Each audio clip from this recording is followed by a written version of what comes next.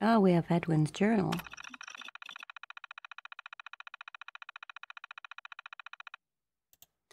Bess and I got in just before sundown. Old place is still in one piece, though the north side's sunk a little more.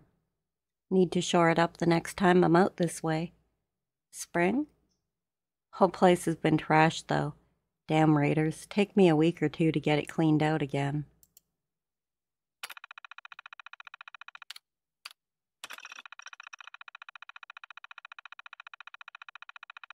Forgot how nice it was to get off the road. Bess seems to be settling in well, too. Hard to believe it's been ten years. I still remember Annika leveling that shotgun at me. What an introduction. Think we were both glad she never pulled the trigger.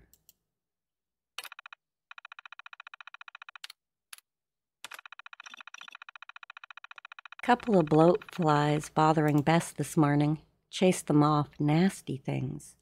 Spent the afternoon rigging up a zapper with parts from the old generator. Seems to work well enough.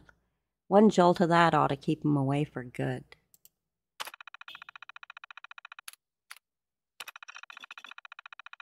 Shooting stars tonight.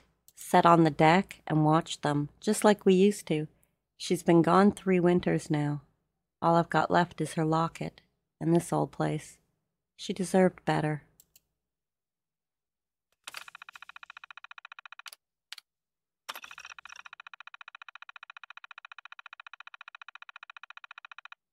Out fishing when the bugs came back, bloat flies and worse.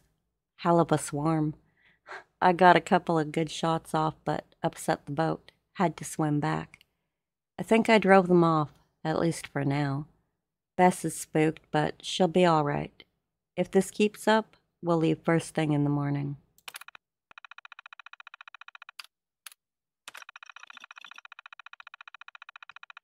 I can't find the locket. It must have slipped out of my pocket when the boat flipped over.